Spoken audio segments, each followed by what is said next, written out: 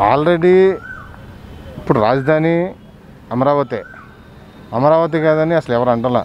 తెలుగుదేశం ప్రభుత్వం వాళ్ళు అమరావతి రాజధాని కానీ చెప్తున్నారు. ప్రజలను అలా మభ్యపెట్టడానికి.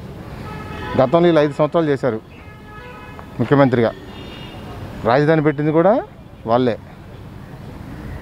జగన్మోహన్ రెడ్డి గారు ఎలక్షన్కి రెండు నెలలు ముందు వచ్చి ప్రతి రైతులతో మాట్లాడాడు. నేను ముఖ్యమంత్రికి అయితే మీ పొలాలు మీకు రిటర్న్ ఇస్తాను. నన్ను ముఖ్యమంత్రి చేయండి. ఈ చంద్రబాబు నాయుడు ముప్పై వేల ఎకరాలు తీసుకొని ప్రజలను ఇబ్బంది పెట్టాడు అన్యాయం చేశాడని చెప్పాడు. మరి ఎలక్షన్ ముందు జగన్మోహన్ రెడ్డి గారు చెప్పారు సీఎం గారు. మరి ఆ రోజు మీరు ఆయన మీద మాట్లాడాలి. ఆ రోజు మాట్లాడలేదు.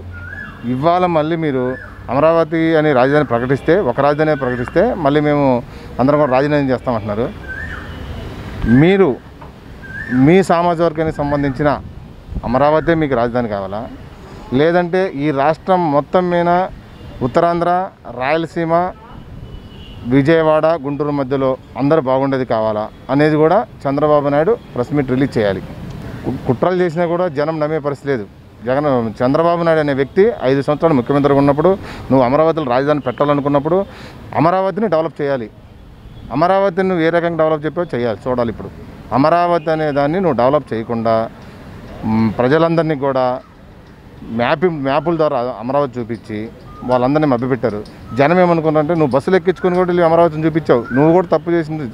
ఎందుకనంటే ఆడ అమరావతి ఏం లేకుండా కూడా బస్సులు తీసుకొచ్చి ఎక్కడెక్కడి నుంచో బస్సులు జనాలందరూ తీసుకొచ్చి అమరావతి రాజధాని చెప్పి వాళ్ళందరూ నువ్వు తీసుకొచ్చిన బస్సులను చూసి నీకే బుద్ధి చెప్పారు. నిజంగా చెప్పాలంటే ఎప్పుడైనా ప్రజల కోసం పోరాడాలంటే ప్రతిపక్ష పార్టీ రాజీనామా చేసి మళ్ళీ ఎలక్షన్కి వెళ్ళి మా అందు జనం ఉన్నారని నిరూపించుకోవాలి. అంతేగాని అధికార పక్షాన్ని రాజీనామా చేయమంటాం ఎలా ఉందంటే చాలా నవ్వులాట ఉంది ఇది. ఈ వీడియో గనక మీకు నచ్చినట్లయితే లైక్ చేయండి షేర్ చేయండి. మరిన్ని వీడియోస్ కోసం మా ఛానల్ను సబ్స్క్రైబ్ చేయండి.